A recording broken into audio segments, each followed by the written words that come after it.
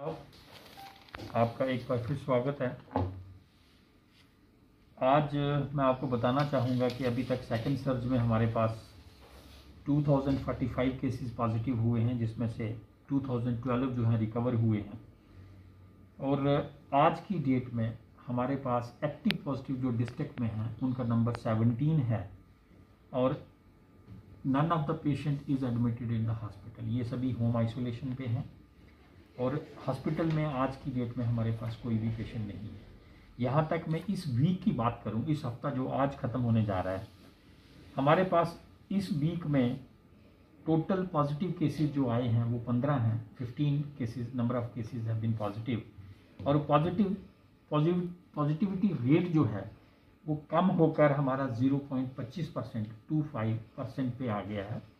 तो ये एक आ, आ, मैं कहता हूँ कि हम ये कह सकते हैं कि केसेस में कमी आई है लेकिन हमें जो गार्ड है अपनी उसको लोअर नहीं करना है। ये सब आ, जो हमने प्रिवेंटिव मेजर्स लिए हैं लोगों ने साथ दिया है मास्क पहने हैं ये उसी का नतीजा है। और मैं फिर अपील करूँगा कि मास्क पहने घर से जब भी बाहर निकलें सोशल डिस्टेंसिंग फॉलो करें भीड़ वाली जगह पे ना जाएँ क्योंकि अभी भी हमारे पास आने वाला जो दो महीने का समय है, जो बताया जा रहा है दैट इज़ डेंजरस अगर हमने इस, इसको पार कर लिया तो इसका मतलब ये है कि हम अपने आप को और अपने परिवारजनों को बचा सकते हैं कोविड से।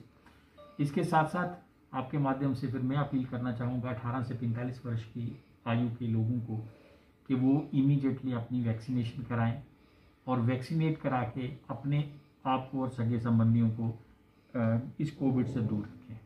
इसके साथ साथ मैं आपको ये भी बताना चाहूँगा कि हमारे हॉस्पिटल में 750 एलपीएम का ऑक्सीजन प्लांट कम्प्लीटली इंस्टॉल हो चुका है। एक 750 एलपीएम का जो फ़र्स्ट फ़ेज़ का प्लान था, वो भी आ चुका है, जिसकी इंस्टॉलेशन चल रही है।